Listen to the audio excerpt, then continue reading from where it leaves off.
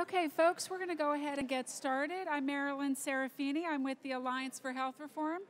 And on behalf of our co-chairman, or our honorary co-chairman, Senators Ben Cardin and Roy Blunt, I'd like to welcome you to today's briefing on trends in coverage and affordability in the ACA marketplaces.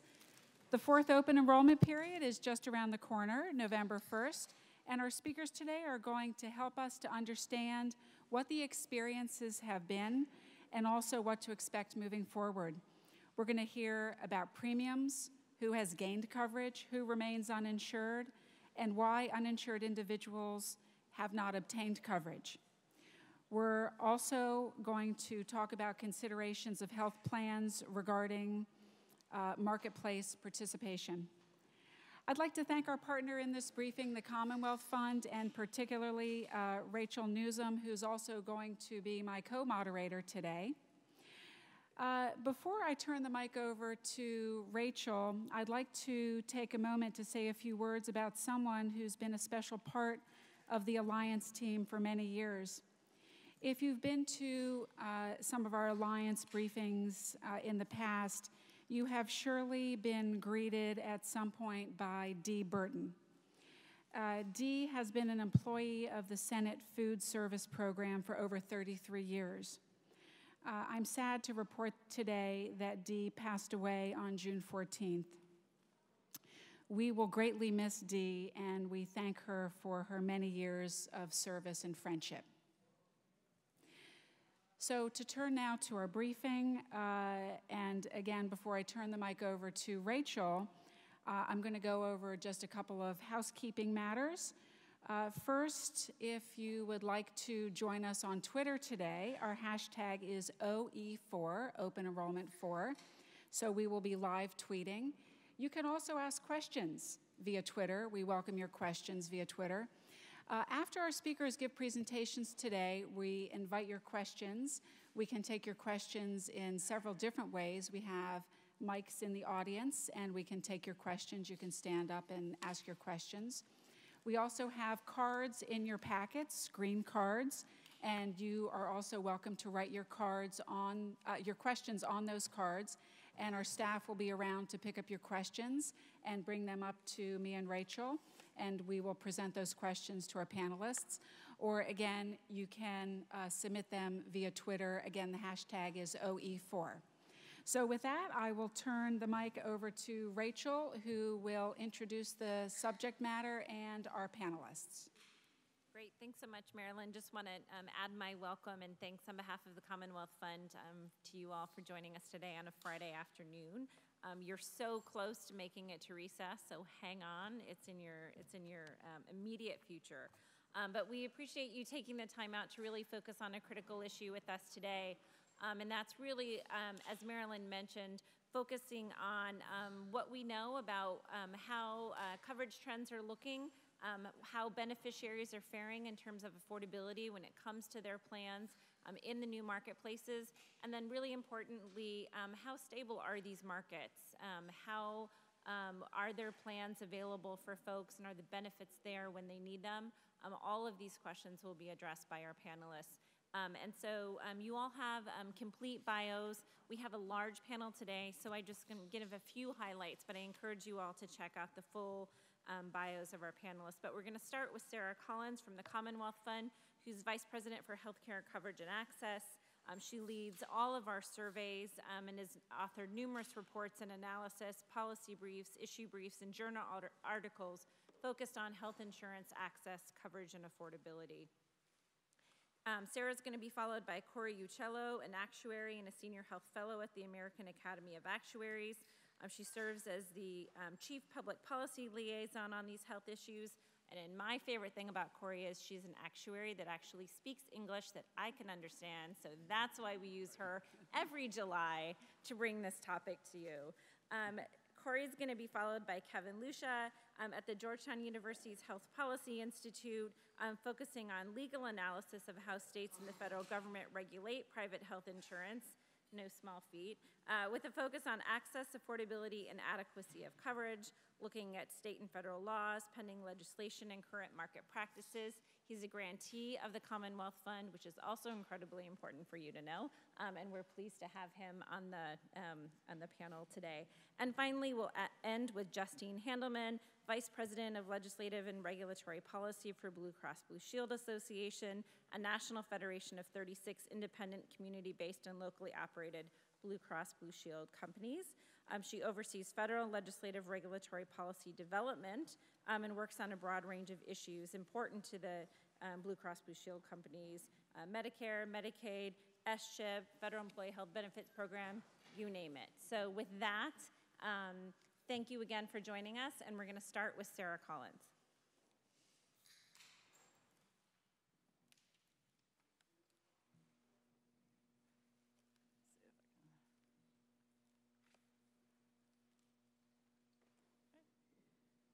Thank you, Rachel and Marilyn, and also thank you um, to, the, to the Alliance um, and the panelists um, for, for joining us today. Um, the last few years have brought um, significant change to the insurance coverage of Americans. There are 20 million fewer uninsured people than there were um, in 2010. and this means that fewer people are exposed to the full cost of their health care. And we're seeing early evidence of this phenomenon in both federal and non-governmental data. CMS's estimates of U.S. health spending from late last year show a slowdown in the growth in consumer out-of-pocket costs and an actual decline in out-of-pocket spending on hospital care. Commonwealth Fund surveys and the National Health Interview Survey are finding nationwide declines in cost-related problems getting needed health care and also problems paying medical bills. The new Commonwealth Fund local scorecard, which we released um, this week, um, finds declines in cost-related problems getting needed care in 111 out of 306 local communities across the country. But future gains on these indicators are going to depend critically on the affordability of both health insurance um, and health care.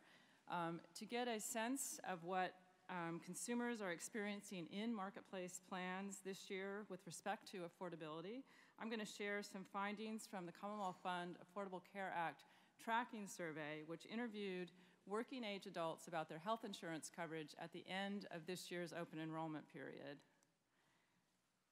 It is really clear, not only from our survey data, but from, all, from, from other um, analyses of marketplace plans, that marketplace enrollees are highly price sensitive. In the survey, cost was the most important factor in health plan selection among people who newly enrolled in 2016 and those who had switched plans in the most recent period. This price sensitivity has led to a very high rate of plan switching uh, during the last two open enrollment periods. Of those in the survey, about 46% of people who had had a plan since before 2016 said that they had switched, switched their health plans at least once since enrolling. Of those, 40% told us they did so to get a lower premium. The vast majority, more than 80% of marketplace enrollees, have premium tax credits to help them pay their premium costs. We find that these premium tax credits have lowered premium costs for people with marketplace plans to levels that are comparable to those with employer-based plans among adults with low and moderate incomes.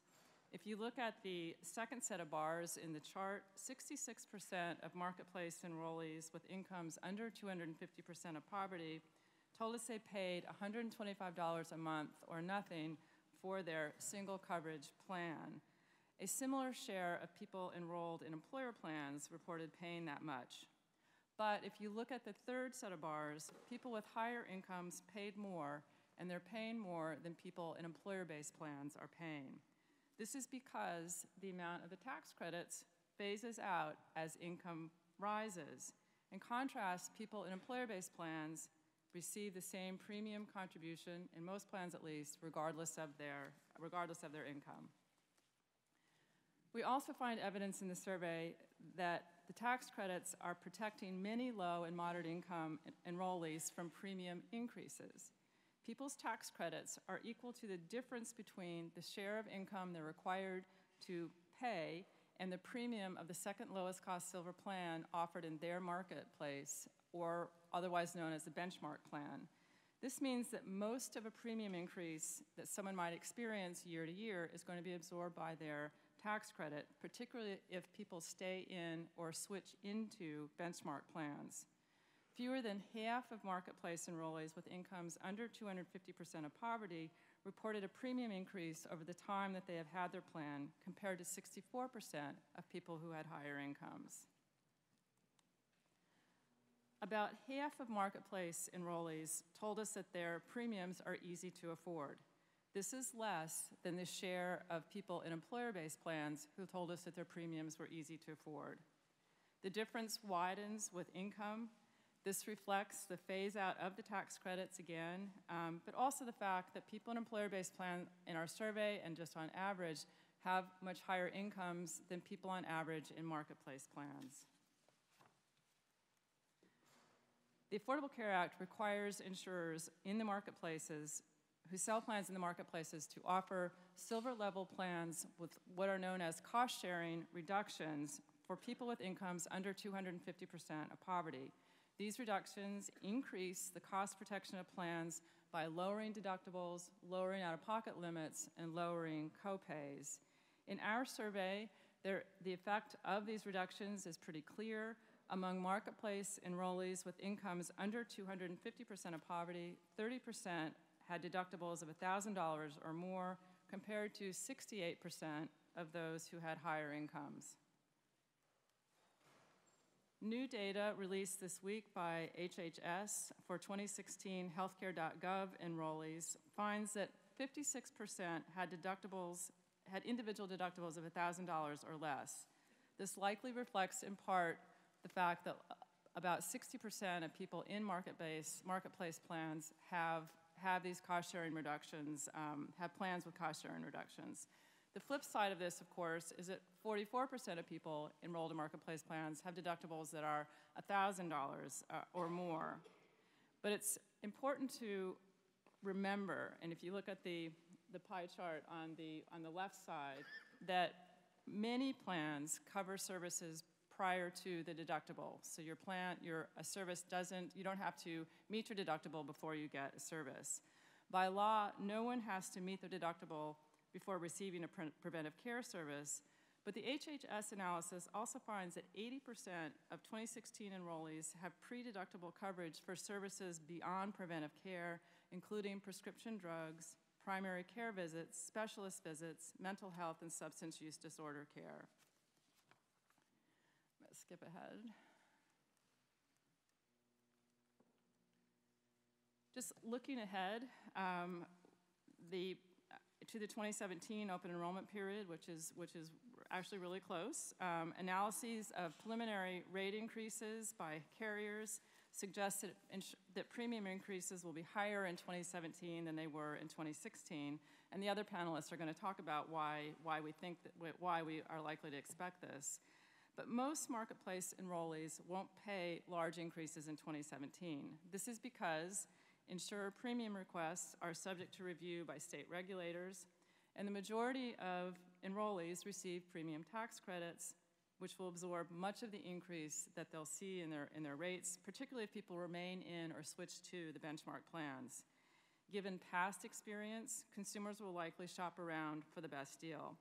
But there are definitely cautionary notes in our survey findings. As income rises, enrollees pay higher premiums and they pay higher out of pocket costs. Affordability concerns are the most often cited reason uninsured people give for not pursuing coverage the, through the marketplaces. The House versus Burwell case, which has challenged the way, the which, way in which the administration is financing the cost sharing reductions, put those reductions at risks so policy adjustments are going to be needed to ensure the affordability for consumers going forward as well as the stability of the marketplaces. Thank you.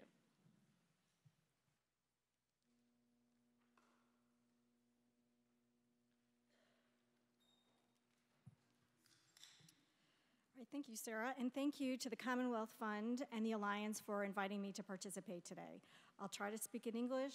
I can't make any guarantees. So Um, so my role uh, this afternoon is to talk about the factors that are driving 2017 premium changes.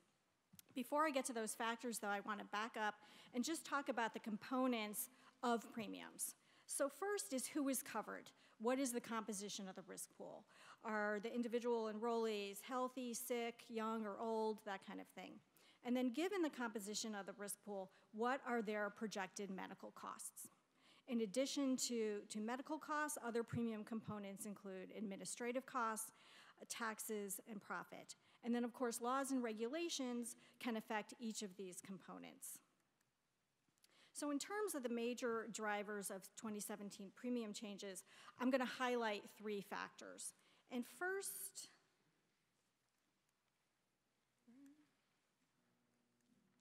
First is medical trend, which is the underlying growth in medical spending. So medical trend is expected to rise slightly higher than it has in the past, but still remain low relative to historical levels. Um, there is still continuing concern, however, that prescription drug spending is outpacing that of other medical spending. On average, I think insurers are assuming medical trend of mid to, to high single digits for 2017.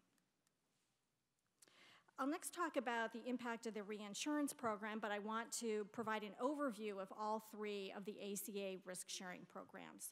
The first of these is the Permanent Risk Adjustment Program, and that program is used to transfer funds between insurers based on the relative risk of their enrollees. So plans that have a relatively healthy enrollee population are going to be paying into the program. Those insurers who have less healthy enrollees will be getting money from the program. The reinsurance program is a temporary program running from 2014 to 2016. And what that program does is reimburse insurers for a, a portion of the claims for their particularly high claim uh, enrollees. And the third program is the Risk Corridor program. Again, this is temporary, running from 2014 to 2016. And that program was intended to mitigate the pricing risk that insurers face when there's uncertainty in terms of who is going to sign up for coverage and what their, what their spending would be. And that kind of program is particularly important during the first years of the ACA when there's so much more uncertainty. So next, just talking in particular about the, the reinsurance program, which again runs from 2014 to 2016, um, so it won't be in effect in 2017. So the reinsurance program declined over time. And so what the reinsurance program does is offset a portion of claims. And because a portion of claims are offset, that means that premiums are lower than they otherwise would be. As the funding for that program declined over time, the offset to claims declined over time, which means each year, 2015, 2016, and 2017, premiums are going to increase due to the reduction in that program. So 2017 will be the last year where there's that uptick in premiums because of the reduction in reinsurance. So for 2017, I think we're expecting an increase in premiums of 4 to 7% due to that final reduction in the reinsurance program. Here are just the, the program parameters of, of, the reinsurance program. I'm not going to talk about it, but I'm happy to, to answer questions during the Q&A. And the third major driver I'll talk about um, has to do with changes in the risk pool composition and insurers' assumptions regarding the, the, uh, the risk pool. So as I mentioned, premiums reflect insurer expectations regarding who is enrolling in coverage and what their health spending is.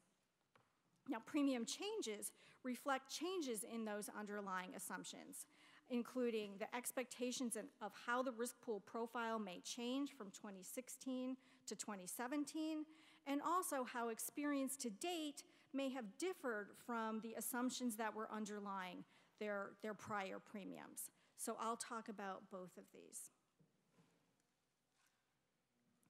So insurers this year had information when developing their premium rates for 2017. They had information regarding their 2014 and 2015 enrollee demographics and health spending. And then this was the first year that insurers also had information reg regarding the market-wide risk profile for the 2014 plan year. And that information included the results from the payments and receipts under those three risk sharing programs. And information from those uh, results uh, indicate a couple of things. First, the risk adjustment data suggests that some insurers may not have set uh, 20 or may have set 2014 premiums low relative to the market-wide risk. So insurers should be setting premiums that um, consider the transfers made under the risk adjustment program. So they should be kind of calibrating to market-wide risk. Um, second, the risk corridor uh, program data reveal that for many insurers, their 2014 premiums were too low relative to actual claims. And this is why you see, saw so many insurers expecting, um, after they saw their claims, expecting to get uh, payments from the risk corridor program. Now, 2017 premiums could increase to the extent that those results have not already been incorporated into the assumptions underlying the pre, uh, prior premium changes. So if to the extent that insurers already recognize, for example, there was the transition policy that took that went into effect after the 2014 premiums were finalized, um, that they may have incorporated some of that into their 2015 premiums, but they may not have done so to the full extent they now think they, they may have to. I'm not sure that was English. So, so here's a chart from the Kaiser Family Foundation that shows the, the premium uh, changes for the second lowest uh, silver plan. And this just really shows across different cities uh, that just on average, the premium change requested for 2017 um, is higher than that that occurred in 2016. Um, and just a few more things that, that we need to consider as we're looking at the, the premium changes that have already been requested and have been released and those that will be finalized and released in the future. Um, first is that 2017 premiums in most states have not yet been finalized. Um, so that's something to keep in mind, as Sara mentioned, that things may change when the, when the final premiums are released. Second, as we saw from the prior chart, premium changes can vary tremendously across states. In addition, premium changes uh, can vary tremendously within a state by insurer. And what we see in the news a lot when we, when we see things about premium increases, they're really just average numbers. And I would just caution that those averages may not apply to any particular consumer. Consumers can face different premium changes due to, to, you know, with the particular plan they're in. They have aged a year, and so will face an increase in premium just due to that. They may have moved, they may have changed their family status, and their subsidy eligibility may have changed. So all those kinds of things can affect a particular person's premium change. And finally, consumers can potentially find a lower premium plan by shopping around. But again, I think it's important that people uh, look at not just the premiums of their plans, but also the cost sharing requirements and look at that together when choosing a plan. So here are just some um, papers that go into more detail from the Academy on this, but now I will pass it over to Kevin.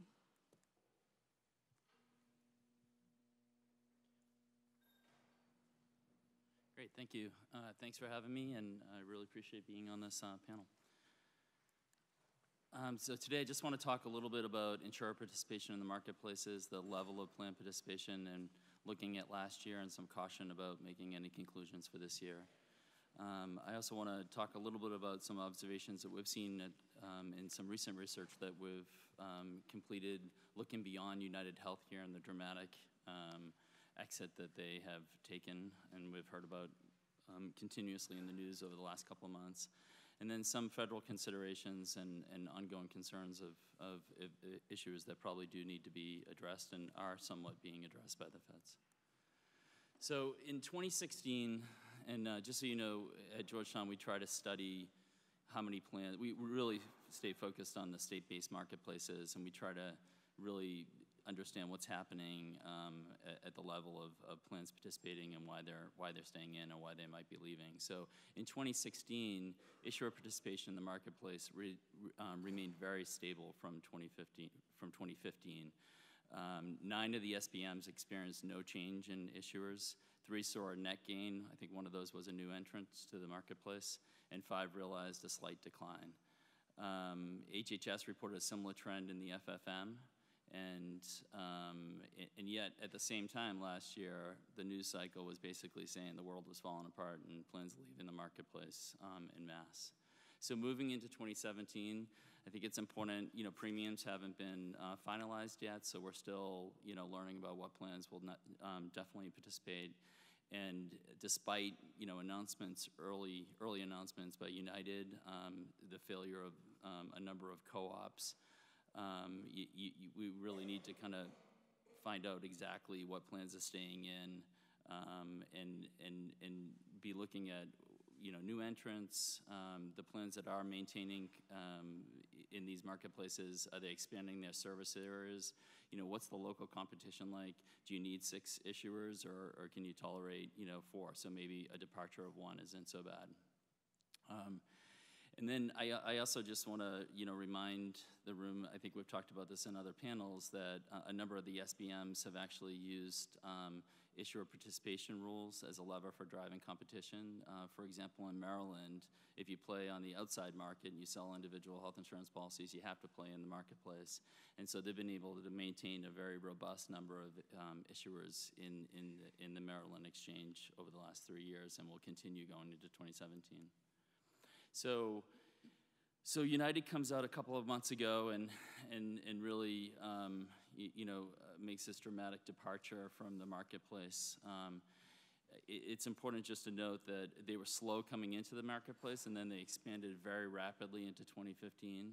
Um, there's, there's research out from Urban that shows, Urban Institute that shows that when they did play, they didn't always play um, play hard. They weren't necessarily um, com- competing um, aggressively on rates. Um, and, and overall, United really did maintain um, a modest share of the marketplace enrollment when you look at it across the nation. So just kind of got to remind ourselves of that. So what, what we thought we would do um, is, is look at the, the largest publicly traded issuers that were participating in the marketplace, and we, we basically reviewed their first quarter earnings calls um, to find out what they were saying about the marketplace. And we realized that there's a lot of perspectives out there um, that go well beyond um, United's experience. So what, what did they tell us? Um, so insurers are not withdrawing in mass from the marketplace. Um, uh, the, there, there appears to be a long-term commitment to the marketplaces on some of these larger for-profit companies. For example, Anthem noted that they're going to continue participating in 14 markets and, and suggested that they were looking for expansion opportunities. Um, marketplace enrollment remains stable um, for these large, large plans. In fact, some of them were seeing dramatic increases in their enrollment levels. So in Aetna reported enrollment above expectation with a gain of 200,000 people. Molina, which um, had been a former Medicaid-only plan, um, was seeing, uh, realized a, a, an increase in 420,000 um, new members um, fr- from last year. So these are dramatic increases. Um, what we also heard was the risk pools continue to uh, evolve, but unlike United, some of these other carriers are, are having um, a better experience with their risk pool. Um, for example, Molina commented that its marketplace enrollees have been comparatively healthy, um, and that may be because they're targeting um, en- enrollees that had either been prior uninsured or just coming off of, of Medicaid. And then, and then an- another major observation was insurers continue to, re- to view the marketplace as offering them a unique business opportunity. So the, these, these larger for-profit companies weren't necessarily ready to bail on the marketplace. Um, okay. They did um, point out a number of ongoing concerns, um, uh, complaints about the risk adjustment program, um, ongoing concerns about special enrollment periods, people kind of coming in between open enrollment periods and, and, um, and being high risk and high cost. Um, but I, I do want to point out in, in, in recent months, it, it seems like the federal regulators are listening to the issuer concerns. Um, they're offering changes to the special enrollment period rules. They're restricting the sale of short-term durational policies, which may have been pulling away some healthy risk from the marketplaces. And, and there's an ongoing discussion about risk adjustment um, and the risk adjustment methodology. So looking forward, I think it's important, especially when we think about United and if there's any other large carriers that you know pull out of some markets, that, that it's important to understand that there's a there's many plans playing in these marketplaces. They come from all different directions, um, and the Medicaid, the former Medicaid only plans like Molina and Centene are actually having a much different experience than um, you, you know United and some of the other larger players. Um, not all issuers will thrive in this uh, new and developing market. I think that's really important to understand. We came from um, an under, before the Affordable Care Act, we had an underwritten market and companies made money basically discriminating against people. And so, you know, we have new rules in place and it's gonna be a tough environment to succeed in. And, and it's gonna require, you know, effective risk management and, and prohibiting discriminatory practices. And I think we're, we're going to have some issuers fail because they can't compete in that environment. Um, and, and I think that's okay. And then finally, I think there's a real important role right now for federal and state policymakers to be looking for opportunities to kind of resolve some of these ongoing problems that we're hearing from our carriers. I think we'll hear some from, um, from Justine in a bit. Um, and, and, and this is the moment. We're at the start of a marathon. We're only, what, four years into the Affordable Care Act, and and uh, many years to come, I hope. And, and over that time, we'll, we'll be working towards improving some of these, um, some of these underlying problems. Thank you. Great. So before we turn to uh, Justine, our final speaker, I want to remind you that if you are uh, following us, if you would like to participate in Twitter, the hashtag is OE4, Open Enrollment 4. And also that after we hear from Justine, we're going to open up the Q&A portion of our briefing, so be getting your questions ready. And again, you'll be able to ask your questions uh, via Twitter, uh, again, hashtag OE4, uh, live at the microphones, and also that you have uh, green cards in your folders that you can write your questions on, so you can be uh, starting now, even if you like. So uh, with that, I'll turn it over to Justine. Great. Thank you, Marilyn, and thank you, Rachel, for having me here today. Um, I really enjoyed sitting with the panel here, and they've said many important things, and hopefully will make my job a little bit easier. Um, just quickly before starting, I want to talk a little bit about Blue Cross Blue Shield. We've been in existence for over 80 years, and Blue Cross Blue Shield plans serve every market the individual, the small group, the large group. We're in every zip code across the United States. We also are in government programs, Medicare, Medicare Advantage, Part D, the Federal Employees Health Benefit Program. And the plans are extremely committed to the communities in which they serve and the customers they serve, given their long history.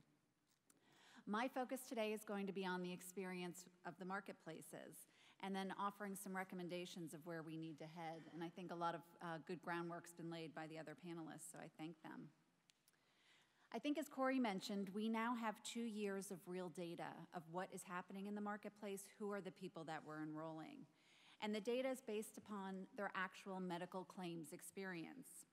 And we're beginning to understand the way these new enrollees are utilizing care, the care they need, the prescriptions they need, and what that means. And let me just share a little bit as I talk about it how that impacts premiums. And I think Cori did a really nice job um, showing how premiums are set. The newly covered have higher incidence of chronic conditions, hypertension, um, diabetes, et cetera, and they're using more medical services. Now, that's not surprising. As was mentioned before, and Kevin mentioned before the ACA, health plans could deny people coverage if they had a pre existing condition, or they could rate people that were sick higher. And the rules today do not allow that to happen.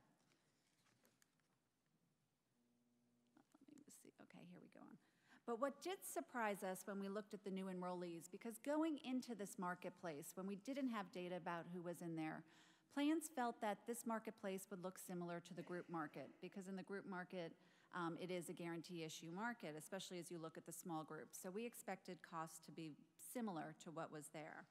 But what surprised us as we looked at the data and did a study is that the costs of those that came into the ACA marketplace in 2014 were 19% higher than those with employer coverage. And in 2015, 22% higher. So we saw that going up. So we didn't expect that to be that much higher. And I think Cori also mentioned you do see a continued increase in medical trend, and that adds to premiums as well. The premiums, you have to have enough cost to cover your claims, so the makeup of the pool. But in addition, what is the trend? And certainly, we've seen in the last um, few years significant increases in prescription drugs, generic drugs, as well as specialty drugs um, that has been adding to the costs. I think, as we all know, a key to affordability is making sure that everyone is in the marketplace. When you have rules that you cannot vary premiums based on health status, you have to accept everyone regardless of health condition. You need everyone in. You need enough young, healthy people to balance out those that may be older or sicker with conditions. Um, incredibly important. And we are concerned the existing rules today don't do enough to ensure that everyone gets enrolled and that they stay continuously covered. What's really important for health plans, and we have many innovations underway, and I'll talk about that, is when people do have conditions, you want to help manage those conditions and make sure they get the care they need to keep them healthy, to keep them out of the hospital, um, to make sure that they're doing the things they need to do to stay well.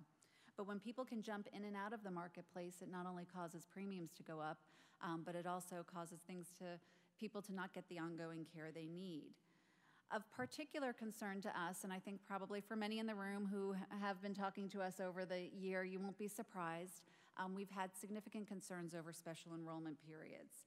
And the intent of the law, I think, as everyone knows, to make it work, everyone has to be covered. There is a mandate to drive that, but there's also an annual open enrollment period, and it's important that people come in during that period. But what we've been seeing is that the special enrollment periods have been misused, where people are using them to come in when they need care and then even dropping coverage, so not even staying in for the full period once they get the care they need. And when you, kind of an analogy to think about it, you can't get your car insurance after you've crashed the car. Imagine if all of us could, how expensive our car insurance premiums are. The same is with health insurance. To keep it affordable, you need everyone in. When something happens, of course, if you have a balanced risk pool, you can spread the costs. We did a study I'm just going to touch on on the SEPs that does show how significantly they've been impacting um, because people are able to come in. Um, and we in AHIP worked with Oliver Wyman, who collected claims data to see what was happening. And when you look at a per member per month basis, claims costs for those that were coming in through special enrollment periods were 47% higher in the first month of coverage in 2014 and 57% higher in 2015 for those coming in through an SEP compared to the open enrollment period. And then when you look at the first three months of coverage, again, those coming in through SEPs had much higher costs than those coming in through open enrollment. 24% in 2014, it went up to 41%. We did not have data for the full year in 2015, but looking to 2014, we know the impact of all of those people coming in through special enrollment periods. Um, their costs, those coming in through special enrollments, were 10% higher than those coming in through the annual open enrollment period. And we know special enrollments have been driving the enrollment numbers. In fact, in 2014 and 2015, nearly 20% of the overall enrollment in the total exchange population came through special enrollment periods. Now, I don't want anyone to walk away and think that special enrollment periods are not important. They are incredibly important. If someone has a life change, they move and they've had insurance and they need to get insurance in their new state, they've had a baby and they need to add the baby to their policy, they've had employer coverage and they've lost that coverage, absolutely, you need to make sure that that special enrollment period serves them. But what we believe needs to happen is that just like we do off the exchange or you see in Medicare Advantage, if someone has one of those changes that requires them to come in through a special enrollment, that they prove that they should be coming in. Kevin um, alluded that recently the administration did do some action to help, and they did take a first step. Um, we don't think it's a step that goes far enough, but it's a first step. They changed the rule to require that if you move, you need to show that you had prior coverage in order to get in through a special enrollment period. So before that rule, you could be uninsured, you could move, and then you could get insurance. So think back to my car insurance um, analogy. So they've said you have to now for a move. That's the only one of the special enrollments you have to prove prior coverage.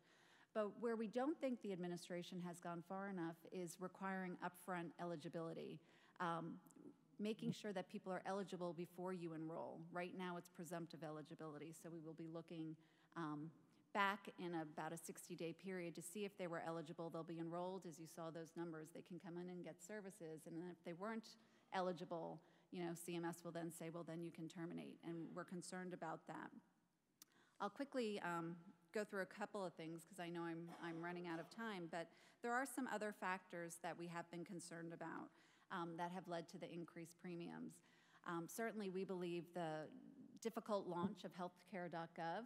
Um, many of the young, healthy people that might have otherwise come in did not come in, and it's harder to get them. Again, we're seeing the makeup of the pool. Cori mentioned the transitional policies. We had set our premiums expecting to migrate many people over, when in November, um, a rule was put out to say if you like what you have, you can keep what you have. Many plans scrambled to allow that, but we didn't price our premiums knowing that would happen. That had a huge impact, and Milliman just put out a study that actually shows. There are grace periods where if someone stops paying their premium, they can't be terminated for three months. So the first month, they can still continue to get coverage. We have to pay for it, and then claims are pended. We know that McKinsey's put a study out to show that people are actually doing that and then re enrolling, so we've seen an uptick there. So there's been a number of, of factors that have let, left us to be concerned. And I know Cori spoke about the uh, reinsurance program that is uh, expiring. There's been some confusion, and we can talk a little later if folks want. There's an early retiree reinsurance program that needs to refund Treasury, the temporary, it's all private funds. But just moving real quick, I can. What are we doing? We are working very hard to keep people healthy. Most health plans, and I won't go into it, but as um, Sara mentioned, are providing coverage outside of the deductibles to make sure people get the care they need. There are many ways that people can get primary care, specialty care, prescription drugs before meeting the deductible, and we're trying to incentivize them through patient centered medical homes. But going forward, what do we need to make sure that this is a viable market? I think what's really important is that government needs to be a good business partner.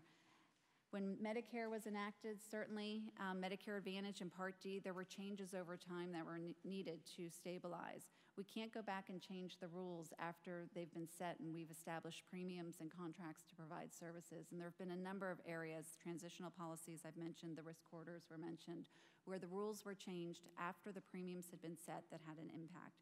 So we really need the government to be a good a good business partner. The premiums need to cover the cost of providing medical care. Health plans have no incentive to set premiums higher than what they need to cover because we live under medical loss ratios. If it's too high, we rebate. Health plans need to get the, the premiums to cover those in their population. The marketplace um, rules need to promote continuous coverage. I've talked about some of those. And then health plans need to have the flexibility to innovate and make changes as they go forward. Having rigid rules and having to do things in a very cookie cutter way can make it difficult to provide the benefits that best meet the needs of the consumers and the population we're serving. So, as we look to the future, um, I just want to mention that we now have the data to inform um, what the marketplace looks like, and uh, we have ideas on how we can continue together to work for a strong, stable, affordable private marketplace. Great, thank you to all of our speakers, and now we are ready to hear your questions. And while you are gathering your thoughts, uh, we're going to turn to Rachel to kick off the first question. Thanks, Marilyn, um, and thank you to all of our panelists. Um, Justine, you kind of opened the door to special enrollment plans, so let's just go through it. I would love to hear, because we've heard a lot about this in the press, we've heard a lot about it obviously from plans.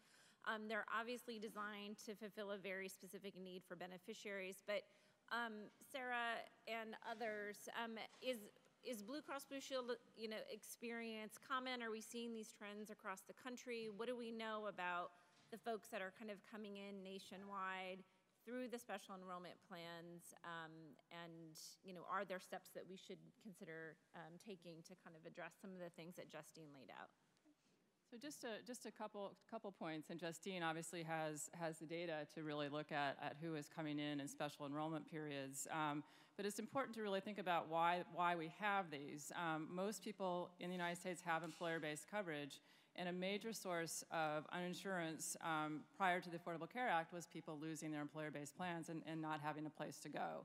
So these, these special enrollment periods were particularly designed for that problem. When people lose coverage because they lose their job, because their, their spouse um, dies, um, divorce, et cetera, um, having a place to go. Some analysis that the Urban Institute has done found that only 15% of uninsured people who would qualify for a special enrollment period um, are actually using them. So there's really an underutilization of, of people um, um, of those special enrollment periods. Um, the other, the other thing I just want to make sure that I'm clear on, um, I understand the fixes by the administration included requiring documentation for the most common um, special enrollment periods. So I think it's more than moving. I think you have to fill out a set of, um, of documents um, verifying that you actually experienced a job loss or, or, or, or qualifying um, for a special enrollment period. So it's a little bit more extensive than, um, than just, um, just, just moving, um, I think. the other thing that the administration changed is in the risk adjustment program, they're allowing for adjustment for partial year enrollment. And so I think that, and Justine can, can, can, can address that too, but I think that also addresses carriers' concerns about higher than expected um, um, costs from, as a result of the special enrollment periods. And a lot of that is newborn children. So babies are by definition expensive, and so when you cover them, they're just it's just gonna it's just gonna um, um, show up. But I, I, think we have to really be concerned about tightening down on these special enrollment periods. Um, it might actually backfire. Um, we might actually end up um, tightening them down to such an extent that only the most motivated people, the most highest risk people, actually try to try to try to come in, and people who are healthy um, may stay out of the pool, stay uninsured until they can pick up um, coverage cover someplace else. So just just a few thoughts on that. If I could just make one comment, um, Sara is right. The administration will require documentation for those coming in. However, our concern with the requirement is the documentation is after the fact that you've been enrolled. So you can't hold up an enroll a special enrollment until you get the documentation. The consumer will have, I believe, up to 60 days to provide it so they could come in, get all of the coverage they need, and then drop. So our, our recommendation is that that documentation should be submitted before you are allowed in. And one thing to the point, special enrollments, absolutely, they're important, but I think we need to really educate and drive people in during the annual open enrollment period so as many people come in and therefore don't have a need to wait. If someone has lost their employer coverage, um, absolutely, they qualify for a special enrollment, but I think we need to do more to get people in during the annual open enrollments so that there isn't the misuse, and certainly, from our point of view, require that documentation before you are enrolled. Okay, we have a question at the mic. Could you please identify yourself? Sure. Hi, my name is Heather Foster. I'm the Vice President of Marketplace Policy at the Association for Community Affiliated Plans. And we represent a lot of the um, safety net health plans, Medicaid focused historically, and many of them have moved into the marketplace. It's been a relatively new space for them. Um, and I guess, my, I have two questions. I'll start with the first one, which um, is for Sara and Kevin predominantly. And in the in Commonwealth's uh, most recent briefs that you put out, I know you stated that um, just under half of all of the respondents said that they found their co coverage affordable, and also that cost was the most important um, factor as individuals pick out their plans. And we've actually seen some other data from NORC and Commonwealth Fund that shows that the Medicaid plans tend to offer the lowest premiums, and at least on average, sort of looking nationwide. And I think that's largely um, because of their experience with care management, a lot of this low income population, vulnerable populations. Um, and we've also seen from some of our own analyses that we did looking at QHPs in the marketplace that about 40% of all QHP products, um, the issuer also offers Medicaid coverage. They're in both lines of business. And wondering um, if you could both speak a little bit to the role of these types of plans with some of the Medicaid experience, and if you've done any research looking into either consumer satisfaction by plan type or at all breaking out the different plan types and what the impact of that is on the market.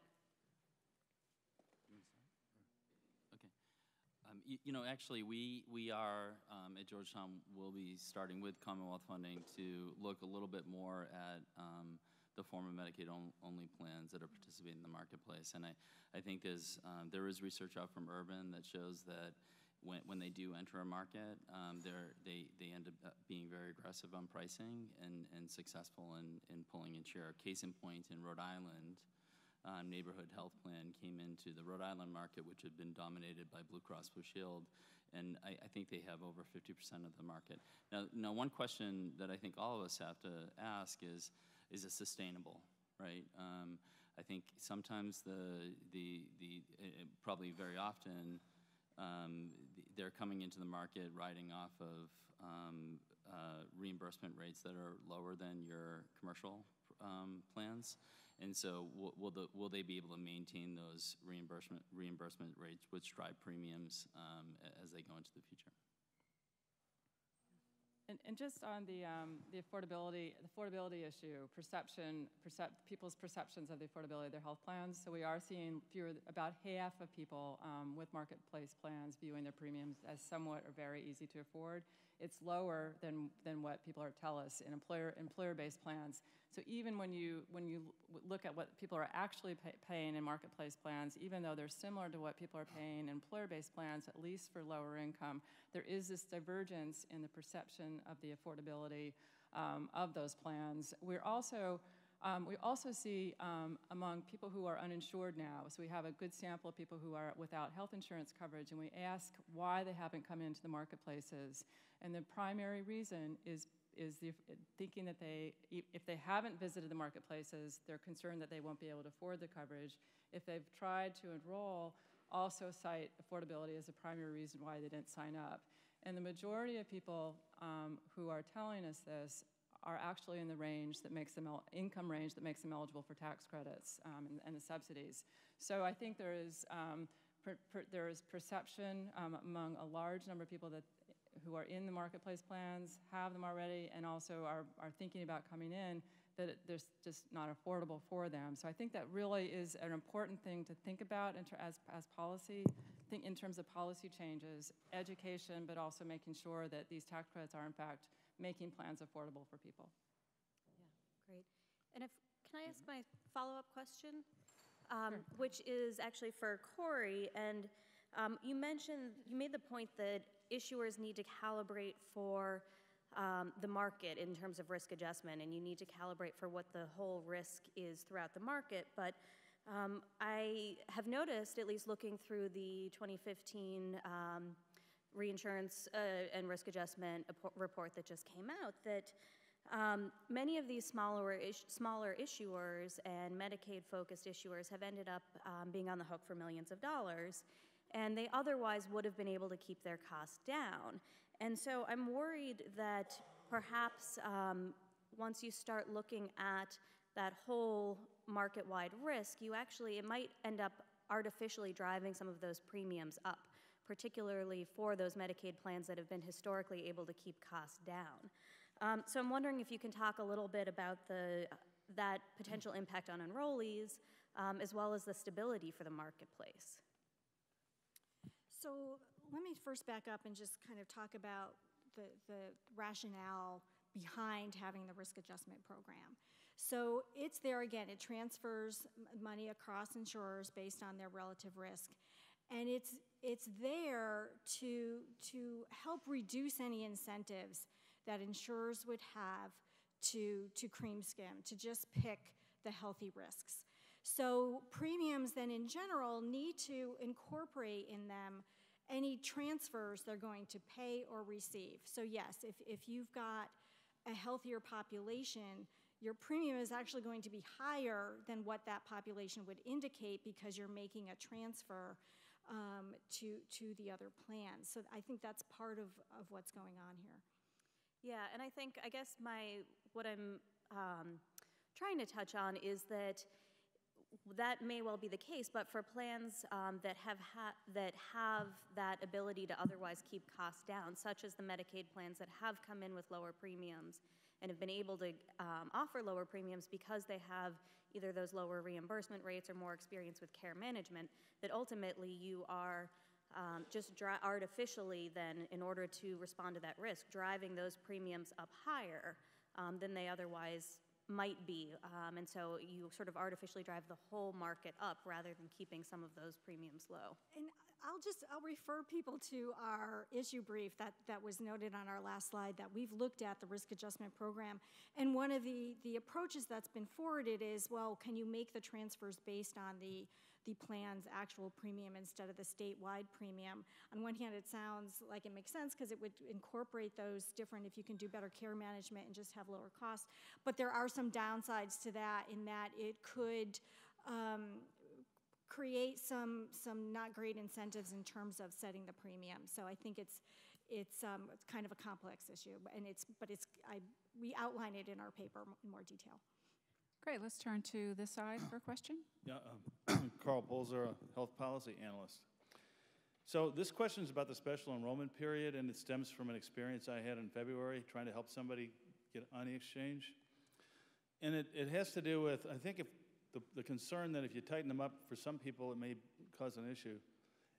Um, yes, there's a legitimate free rider problem. If you have no insurance and then you just go, go to get insurance when you get sick, hence the special enrollment period. But what if you already have insurance? This is a case where a woman, um, husband died of cancer, she became impoverished, she had expenses of $18,000 or income of 18,000 all of a sudden and about $25,000 of expenses every, every year. So uh, we tried to get on the exchange, and basically they said, well, there's a lot of sensitivity. You're never going to do it. This is, uh, she, just, she just missed the open enrollment period. It turned out she got on because the, the, the staff on the, I went to the policy people, and they said, no way, but the staff on the exchange agreed to it. But here you have a case where she, she had no major health issue. It's just an economic change in economic status, needed the government's money, and I don't know what's, what's, what would be harmful to the industry. I mean, for people that have insurance already, why even have an enroll? I mean, you, even if it took underwriting, why even have an open season? They're already, all they need is the subsidy. You see what I'm saying? They're not coming from no insurance to insurance. Well, I think special enrollment's the way they're supposed to work in that situation, so I don't know the circumstances. Sounds like worked as it shouldn't have. If someone had prior coverage and loses that coverage, they should absolutely be able to come in through a special enrollment period. Yeah, but it was uh, everybody I talked to in authority said it wouldn't happen. It was just the ladies on the exchange that made it happen on the phone. They'd get a different one every time. Uh, we, we do have a question. Um, there's obviously been a lot of news lately about um, the co-ops. Um, obviously, Illinois was the, the latest one that we've been hearing about. So there's a question from the audience about um, co-ops, kind of what's not working with those, um, and then sets up a, a, a broader question about um, how can we, what do we know about the plans that are going to be successful on the marketplaces? Justine, you touched on a little bit about this. Um, and, you know, so what do we know about plans that will be able to be successful and what does this mean for new market um, entrants? So maybe if everyone can just take it quickly. I don't know if someone wants to touch on co-ops. Touch on co-ops? Yeah, I'm sure. Um, so yes, um, a significant number of the co-ops have failed. Um, I think um, it's really it's a, an incredibly difficult environment to become a new entrance in, and um, these these co-ops started from scratch with um, very little funding.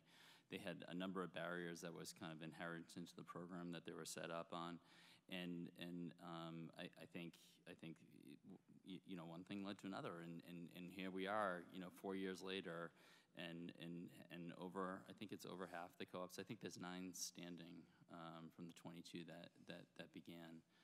Um, so, um, but speaking of uh, how, how, to bring more competition in, into the marketplace. Um, I do think that you, you, know when you look at the scope of plans that are out there that hadn't been into to the individual market prior to the ACA, um, you are, as we talked about before, seeing success in, in some of these former um, Medicaid-only plans.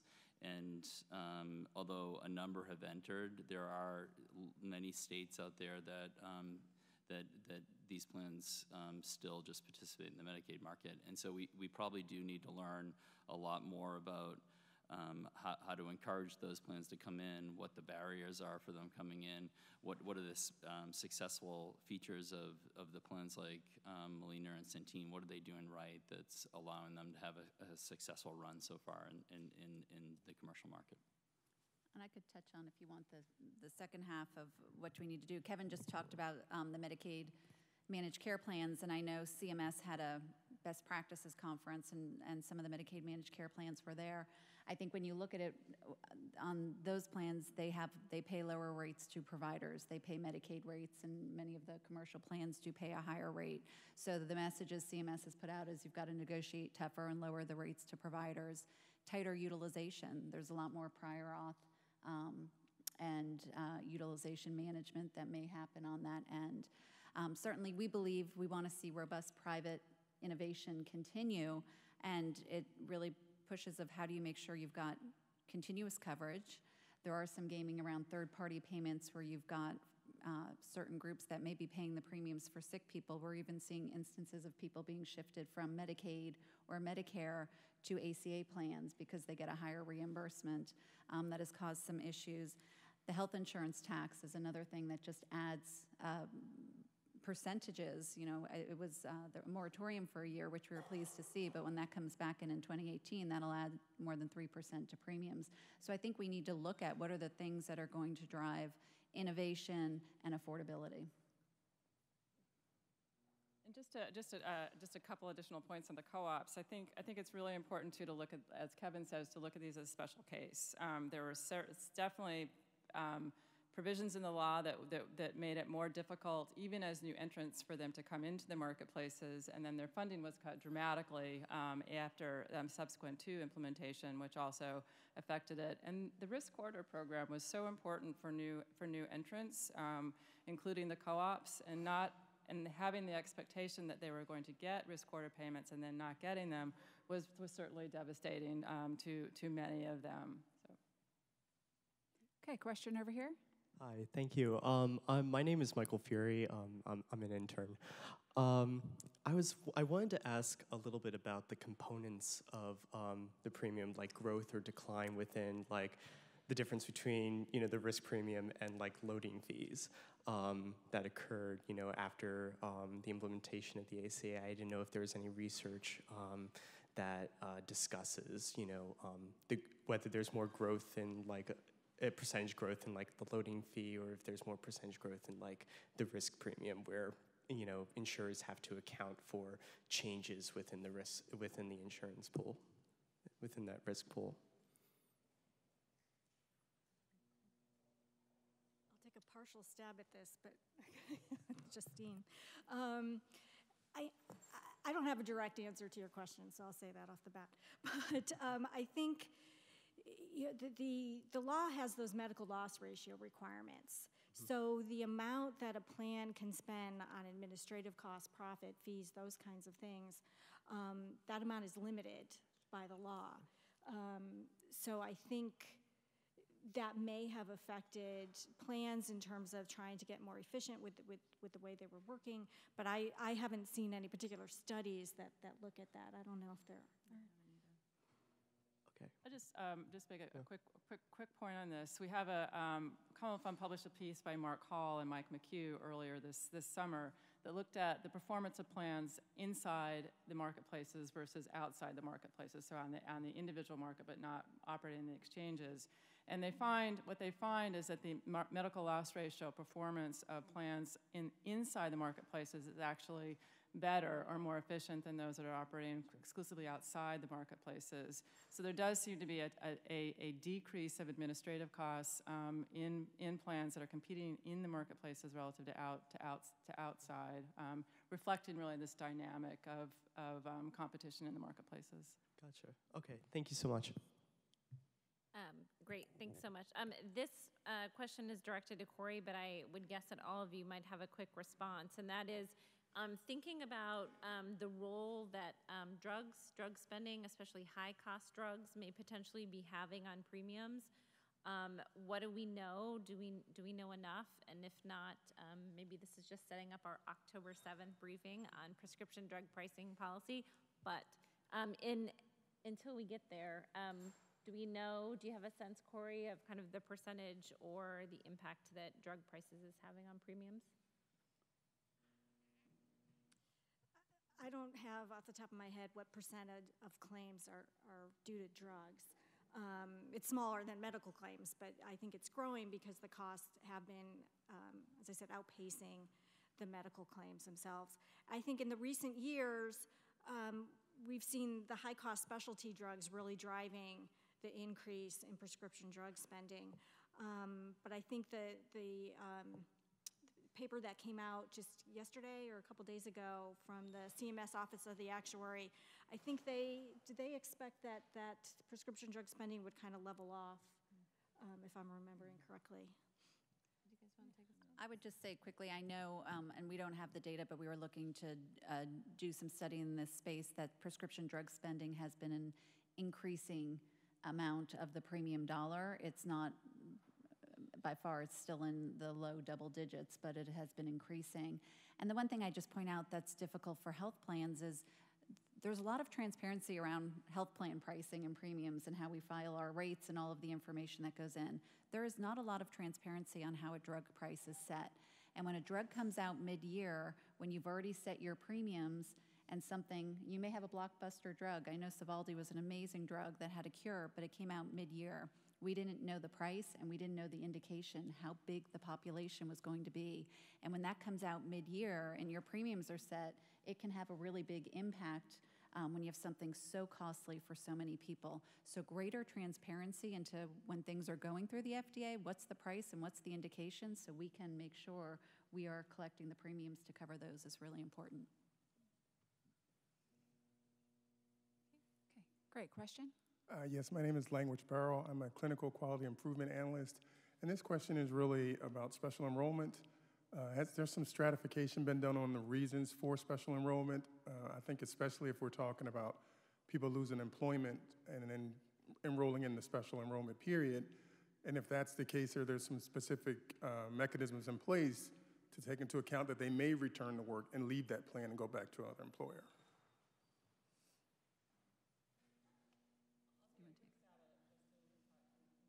Weigh in as well, but the but we but we do know this is the most common special enrollment period. So it's just just by the sheer numbers of people who have employer-based coverage and how much and how much how easy it is for people to lose employer-based employer-based plans. And we also know, just based on Urban Institute analyses, that a very only very they, that accounts for by far the largest share of people who are eligible for special enrollment periods, but it also accounts for the, they, the people, most people va the vast majority of people who are eligible for special enrollment periods because they lose employer-based policy um, don't actually sign up for a, for a special enrollment period. So they stay uninsured either for either until the very end of the year or they stay uninsured for a few months and then pick up coverage through another through another um, through another employer. And I just add quickly, um, we've been asking CMS one thing that would be helpful to get exactly at what you were looking for is we don't often have the reason why someone's coming through when we get an SEP through the FFM. So we've asked for reason codes so we can understand where are they coming in and are we seeing you know greater needs in one or, or different patterns in another. Um, so that's something we've been pushing them to do is let us know the reason so we can see what's happening and then see if there are policies to address. Hi, Paul Heldman, um, a health policy analyst with Heldman Simpson Partners. Um, I know Justine touched on this, but I'm curious whether you have any additional suggestions or other members of the panel have done about what can be done via regulation or the administration acting without Congress to mitigate premium increases and to uh, get more healthy people to sign up for coverage in the marketplaces. And then also, um, is there any, are there any areas of potential bipartisanship agreement legislatively to address this issue.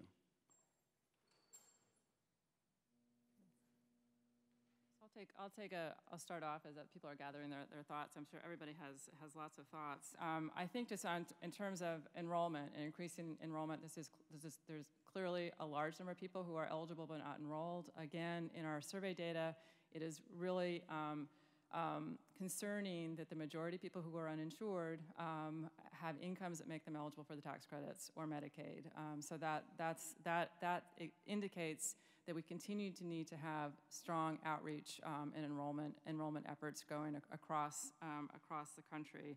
Um, I think helping people understand, in, in, in addition, um, what these subsidies mean in terms of their reduction in their premiums. The media, obviously, um, when, when there is a lot of, because of all these, the rate increases um, that we're hearing, it does, it does lend um, the sense to people um, that, that the premiums are skyrocketing and they're just not going to be affordable um, for them. So I think education for consumers is going to be very important. I think we also need to look at this, this, this whether or not um, the premium tax credits are affordable across the income distribution for people. That the premium tax credits, as they are now structured, make health plans affordable across the income distribution. That cliff at 400% of poverty, you're still looking at people who are earning about $90,000 for a family of four. Um, at $400,000 a year, they drop off and they face the full premium. And we know from our data that, uh, that, that people are probably crowded right in, right close to that, to that income, that income level.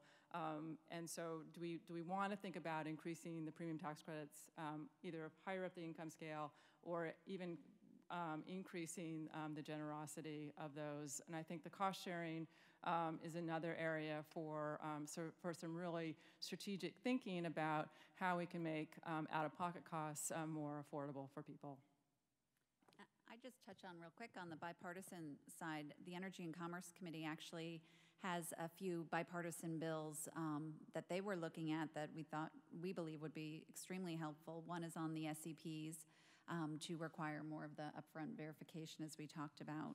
Um, on the grace periods, um, they were looking at either returning control to the states. States typically have a 30 day grace period before someone's terminated, so it's not three months that they can stay on, pay nine months of premium for 12 months of coverage, and then adjusting the age bands to five to one. And then I know um, the other issue that's at least talked about on both sides of the aisle is the family glitch to make sure um, you know, that families are actually getting the appropriate um, subsidies that they need and addressing that. So there are some things, and I agree with Sara as well, of if you could look at the subsidy and how it interplays with the age. Um, right now, an older person who makes more because of the, the way the age band works may actually get more of a subsidy than a younger person who makes less. So how you look at the right incentives there. Yeah, we seem to be uh, hearing more about uh, from some folks about uh, changing the age band, and uh, we recently heard from the administration some uh, um, uh, about their efforts to bring Young Invincibles into uh, uh, their efforts to get them to purchase insurance. I'm wondering if you, if any of you can talk about their efforts, because Sara, you mentioned in your remarks that, of course, that this is one area where we haven't. Uh, where we're still seeing a lot of uninsured, the young invincibles uh, not signing up. So, how do we get these folks uh, insured? And um, uh, you know, so uh, Justine, since you mentioned the age band, um, Doug Holtz-Eakin mentioned uh, just very recently that by changing the age band, that he believed that that would uh, lower premiums. So, what would be the impact uh, of doing that, and how do we get the young people to sign up? So just, just a couple comments on the age band on the age bands. Currently, it's three to one, so carriers can charge um, charge older people three times um, what they charge younger people. This is one of the few places that carriers actually can adjust their rates um, based on um, based on the demographics of a of an enrollee. Um, we had some research, um, or some research was done for us by um, RAND, by Chrissy Eibner, looking at what it means to change from a three to one to a five to one band. And what they find is that um, the increase for older adults is much higher in terms of premiums than the decrease for younger adults, and it results in a loss of health insurance coverage of about 800,000 older, older adults, um, and, at a, and at a significant cost to the federal budget of $9.3 billion. So this is a very expensive um, proposition for the federal government. It would lead to more uninsurance among older people and really not get much of a gain on coverage of young adults. Uh, I really think the issue for young adults is someplace else. If you look at the demographics um, of marketplace enrollees, about 30% of marketplace enrollees this year were under were, were, between the ages of 19 and 34, so not that different from from their overall representation in the population. They are overrepresented represented in the Medicaid expansion. So states that would expand their Medicaid programs um, would probably see a big surge in enrollment among young adults um, since they are um, uninsured young adults tend to have very low incomes, incomes in the range that make them eligible for, um, for Medicaid. Another policy that I just saw in the paper this morning, and I'm not saying whether it's good or bad, is that the perhaps unintentional impact of allowing uh, children to stay on their um, parents' policies until age 26, that that removes them from the individual marketplace. Um, I'm not saying it's a great idea to, to not allow that anymore, but that's also impacting the risk profile of the market. Um, but just in, in general, I think, you know, greater outreach, other things to try to get uh, the more healthy of all ages to enroll in, in the program is important. It's not just a young issue, I think it's a healthy of all ages issue. I would just say, in, in you know, back to outreach. I mean, when you look at a state like California, which has been successful at, um, at, at, maintaining the numbers, expanding their numbers. They've been able to, because of their diverse and expanded risk pool, they've been able to um, maintain lower, lower premium increases. Um, and, but they put a lot into their outreach. I mean, if you're in California, there's, there's work being done on the ground. They have storefronts. There's a me massive media campaign. You know when it's open enrollment. And um, and that, that's not necessarily true in, in all state-based marketplace states and, and certainly not in the FFM states. So I, I think like before you start tweaking with or, or massively changing um, some of these mar market rules, I think it's important to like do the groundwork that you have to to make sure that we're, we're expanding enrollment during open enrollment periods. I think, Justin, Justine, you were saying the same thing. Yes, no, absolutely. And uh, the other thing I'd, I'd, mention is we've done quite a bit of research around millennials and what drives them and how do you get them in. And we know millennials don't value healthcare as much as maybe I do um, for my family or my parents may. Um, they want that on demand care. So for them, seeing a primary care doctor might not be as important, you know, if the appointment's four days from now, than going into a retail clinic and getting what they need in the next hour. They want to be rewarded. If they feel they're eating healthy, um, going to the gym and exercising, doing the right things, they feel they should get credit for that in the research that we've done. And are there additional incentives we can put in? And my latest idea is to reach out to Nintendo because they've gotten more people moving in 48 hours than we've seen of eight years of Let's Go. So uh, maybe, maybe, we could somehow new app. maybe we could somehow connect it to Pokemon Go. yeah. Okay, so we have a uh, question here about uh, uh, small businesses and, and what can small business businesses um, offering small group policies do to contain health insurance costs besides self-insure?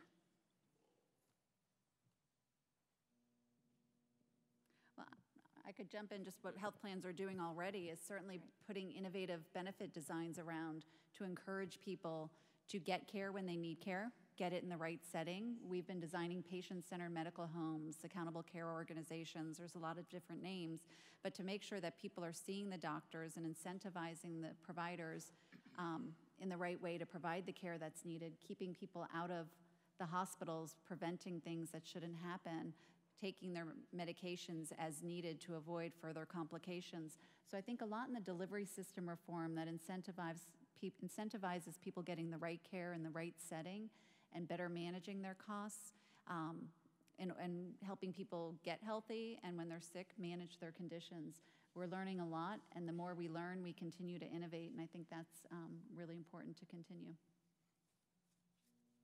Okay, great. So we're coming, uh, oh, we have a question.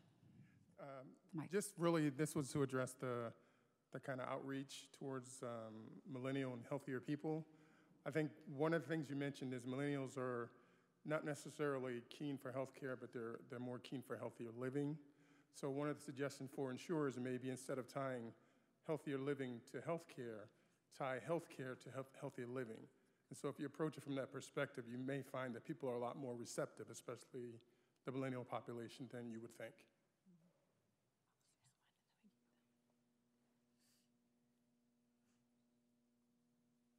An excellent idea. I do too. Sorry, I, I was taking it back saying yes. Um, great. We have um, a question about a uh, proposed uh, premium increase. Uh, Wellmark Blue Cross Blue Shield announced an increase of 38 to 43 percent for 2017, um, and indicated that at least 10 percentage points of the increase stem from the cost of a single extremely sick patient receiving um, really, really costly care. So this really gets to the high need, high cost individuals that um, we know are often driving um, a large proportion of healthcare spending. Um, and so, um, maybe Justine or others, are there um, things that plans are doing to really target and address that high need, high cost population to, to, to get at both the ability to deliver better care for this population, but also to keep costs down? Sure. Um, I mean, one thing I would point out, and I know it's had some con- controversy sometimes the, uh, around town, is the reinsurance program was really designed to get just at that. Um, there are some plans that do have very high cost individuals. In fact, I know of a plan that has a, a member with hemophilia. They're getting the care they need, but it's a million dollars a month, $12 million a year, and you could see the kind of premium increases that has and the reinsurance was designed to help lower premiums. I think the real focus is how do you make sure you've got the right balance? Those cases do exist because when the ACA went into place in 2014, the state high risk pools that cared for these people that could not get coverage went away. So you had many of these high cost people come in, but not enough of the balance of the people that don't utilize to make premiums affordable. And I think it gets back to the point of how do we make sure that we get everyone in, that they get the care they need so that they still stay healthy and we can manage their conditions. Mm-hmm. Because if only those that are coming in that have needs, it's going to just keep costs going up. We need to find ways to bring everyone in, and that may require more innovative benefit design, as I mentioned, that appeal to those that might not have an ongoing health need, that want to go to a retail center, um, that want healthy living to be part of their health care. So I think that's what we need to, to look at. I just want to just ask, since we're on the issue of re reinsurance, um, and, and Cori had some had some um, anal analysis in her in her presentation about the effects on premiums this year of phasing out the reinsurance program, and then Justine has been talking about um, the need for ongoing reinsurance um, in this market. And I just wondered what the um, if you can look at if there are other markets that have that have reinsurance, um, like the Medicare Part D program, and is it is that a strategy, a policy option going forward, extending the reinsurance program for, for the marketplace, or is it, or is it, or won't it be needed after after this year? So there are other markets that do have reinsurance mechanisms. So Medicare Part D um, has a reinsurance mechanism, um, but the the the ACA reinsurance is kind of not your typical reinsurance. It's getting at so. Um, my slide in front of me, but so for, say, in, in 2014, it paid, I think, 80%, or originally it was going to pay 80% of uh, an, an individual's spending between, you know, $60,000 and $250,000. Um, so it's not going to get that person who has $10 million worth of care because they've got um, some terrible um, condition or disease. It's not, that's not going to, to get at them typically reinsurance, that's when it does come in. It comes in to pay those very high costs. The reinsurance program under ACA was partly intended to say because those high risk pool people were going to be coming in, other high cost people were going to be coming in sooner than the healthy people into the ACA market, that this program could, could help offset premiums um, in the meantime while we were the gradual um, enrollment of the healthy people came in which is different. And they structured it that way, I think, in part um, because private reinsurance could also already be available to, to plans. Um, and since the reinsurance program was just going to be temporary, they didn't want to uh, displace that, that private reinsurance option if that public reinsurance option was just going to go away. So I think it makes sense to think about whether a more traditional type of reinsurance program would, would make sense as the ACA moves on, as opposed to the, the, the particular kind of reinsurance it had from 2014 to 2016. So, uh, as we wrap up our session today, I'd like to ask each of our panelists to uh, tell us what we should be thinking about during the few months that we have before November 1st and the beginning of the open enrollment period. What should we really be paying attention to? A lot is going to happen between now and November 1st in terms of uh, premium, premiums and review and uh, insurance. Uh, there's just going to be a lot happening. What should we really be paying attention to? And while we give the panelists just a moment to digest that and to think about how they're going to answer, I'd like to ask you in the audience to just pull out your little blue form in your folders and uh, get ready to fill that out. It's the evaluation form, and we can do a better job if you just take a minute to fill that out. So uh, let's start down here with Sara, and what should we be paying attention to? I think, um, in particular, um, when we're, you're hearing um, about premium increases, premium, premium requests that are 65, 35 percent, um, it's really important to, to take the long view, particularly if you're, if you're helping people who are going to be enrolling in the marketplaces this year and want to understand what's going on. Um, last year, um, um, premium increases were projected to be on average um, as, as late as December about 10% higher than they were in, in, 20, in 2015. Um, we even had some analysis, we had some fund had some analysis that showed they were going to be 6% higher um, across the country. And in the end, um, what really matters is, is what is the premiums for the plans that people actually buy. So the analysis that HHS um, did at the end of the open enrollment period found that premiums rose on average for people who have tax credits, which is the majority of people in the, in the exchanges, only on average of 4%. Um, so, so it's really, what really matters is the plans that people buy in terms of what that actual um, increase, increase is. So I think it's really important to help people understand um, what they can expect um, in, when we're here, when there's so much noise about, about premium increases. Yeah, and I was going to say something similar that we, as I said in my presentation, we often just see averages, but we really need to dig deeper. As you're looking, as, as information comes out, don't just take the average and say, oh, that's what it is.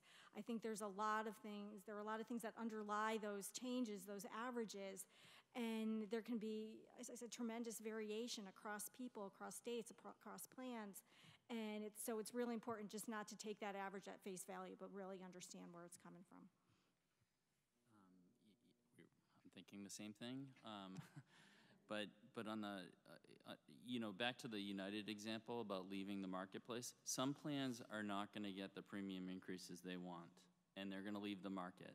And, but there's going to be a lot of other plans out there that are coming in and growing and emerging. And I think we just have to remember that you know, an isolated example of an issuer leaving the market is not the, the, the, the end all and, and the ACA is a failure. Just be, just be cautious of that. Remember this. Um, I don't know the exact number, but it's, it's well over 100 plans that are participating in the marketplaces nationwide. And I'd have to echo as well, ensuring that the plans get the premiums they need to cover the claims costs is incredibly important. Um, I echo everything that's been said. And then the other thing I would point out is those premiums and the products that will be available in open enrollment have been set based on the rules in place, and those rules can't change. We can't have what we've seen in some previous years where rules have changed and have impacted, whether it be risk corridors or, you know, that we've seen in the past or reinsurance. We need to make sure that the rules are in place, the premiums have been set on those, carry forward for the contract year. Okay, we have come to the end of our time, and I would like to thank our panelists for a very rich discussion. We do have a lot to think about, and I'd like to thank the Commonwealth Fund for their partnership in this briefing. And we'll see you next time. Thank you.